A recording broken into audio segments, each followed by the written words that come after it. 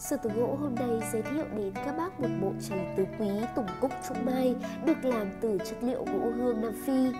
Bộ tranh này có mã TG0002, có kích thước cao 1m17, ngang 37 và dày 4 phân, ở bên trong mục sâu 2,5 phân các bác nha và bộ tranh tứ quý Tùng Cúc Trúc Mai thể hiện được cái sự uyển chuyển, luân chuyển của bốn mùa xuân hạ thu đông, khí chất của người quân tử và ước mong về một cuộc sống suôn sẻ, thịnh vượng, may mắn và là hy vọng của con người.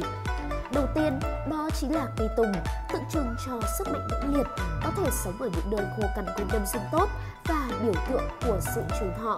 Người ta thường nói tùng là biểu trưng cho quân tử và chính khả năng này của loài cây này đã được ví von như đức tính cần khó của một người quân tử chân chính.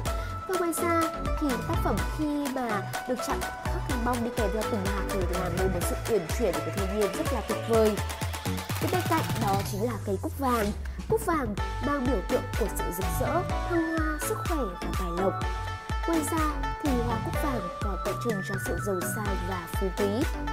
Nhắc đến hoa cúc, chắc hẳn chúng ta sẽ liên tưởng đến mùa thu và bức tranh hoa cúc tượng trưng cho sự trường thọ, phúc lộc dồi dào. Và theo phong thủy thì hoa cúc loan tỏa ra năng lượng khiến gia chủ có một cuộc sống bình dị, cân bằng trong mọi việc.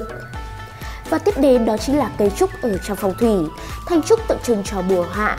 Trong tiếng Hán thì trúc có nghĩa là chỉ loài tre nói chung, loài cây có khả năng sinh sống ở những vùng đất khô cằn và vẫn có thể tươi tốt được và ngoài ra thì còn tượng trưng cho một tinh thần an nhiên, tự tại, không tính toán. Và ngoài ra thì bức tranh này thể hiện được một cái tính cách của người quân tử với ý chí quật cường, thân cứng nhưng mềm mại, không đổ gãy.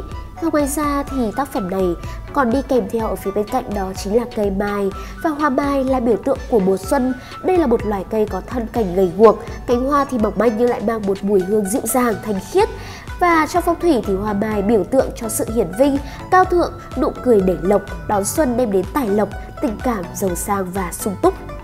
Một bộ tranh rất tuyệt vời, đem lại những cái ý nghĩa cũng như là giúp cho không gian trở nên hài hòa hơn. Và nếu như các bác chúng ta quan tâm đến bộ tranh này, hãy liên lạc với Sừng Tường Gỗ qua Zalo hotline 034 605 9999 các bác nha. Và xem sau video thì các bác hãy ấn đăng ký kênh để theo dõi thêm nhiều tác phẩm mới đến hơn. Cảm ơn các bác rất nhiều.